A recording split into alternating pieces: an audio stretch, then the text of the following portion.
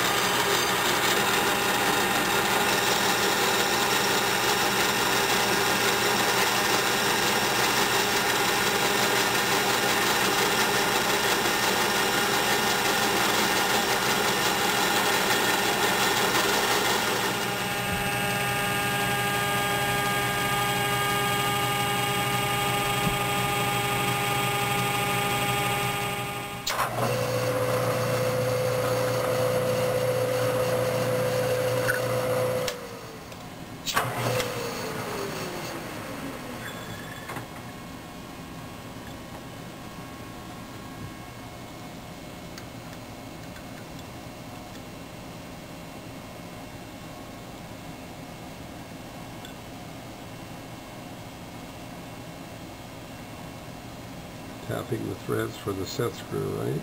Right.